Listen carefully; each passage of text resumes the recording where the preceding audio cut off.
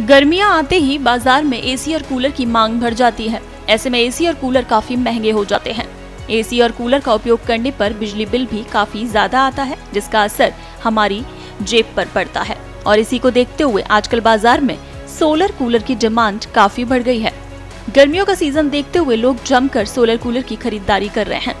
बाज़ार में ये प्लास्टिक या मेटल बॉडी दोनों में उपलब्ध है। हर महीने आने वाले बिजली बिल के खर्चे से बचने के लिए लोग सोलर कूलर खरीदना पसंद कर रहे हैं। सोलर कूलर में एक खास तरह की बैटरी इंस्टॉल होती है, जो कि धूप की रोशनी से चार्ज होती है।